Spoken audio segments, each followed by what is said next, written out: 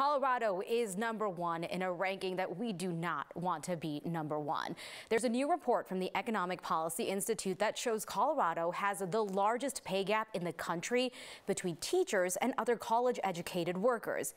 Paying teachers, though, more is not as simple as just saying we should pay teachers more.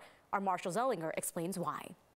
Inside the classroom is where futures are made. Students deciding what they want to be when they grow up, like maybe becoming a teacher. That is, if they want to make on average one third fewer dollars than other careers. You know, making a third less pay, that's a humongous amount of money over somebody's career. Sylvia Allegretto is a research associate with the Economic Policy Institute, which just published her report showing Colorado is number one in pay disparity for teachers compared to other professions. In 1996, teachers earned on average 94 cents on the dollar compared to college graduates in other professions. Now, teachers earn 76 cents on the dollar. After all, teachers have the future of the Colorado workforce in front of them every day. It's an opportunity cost. If you decide to be to work in a different profession and not become a teacher, that's what we're talking about here. I really appreciate the statistics, even though it's so depressing to look at this number. Ginny Huang is the director of the School of Teacher Education at UNC, which churns out the highest number of soon to be teachers in the state. And many of them know the stress already, and many of them know the low pay already, and they still come.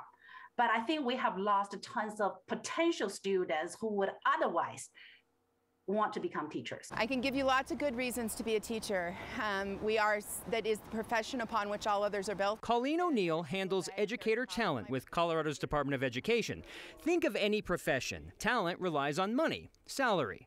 Teacher salaries are dictated by local school boards based on the funds they receive, mostly from local property taxes. I think it really is just making sure that there's more equitable distribution of funds um, for those school districts that may not be able to raise the mill levies to be able to pay their teachers differently. We uh, pushed legislation to create the teacher pay fund. As part of the Colorado Education Association, Amie Baca-Oehlert helped get a bill passed and signed into law that would fund teacher salaries with state money if voters approve a statewide tax increase that has not yet been put on the ballot. I've seen and heard people say, let's just create a GoFundMe and people can contribute their uh, TABOR refund checks to the GoFundMe and then we can fund our schools.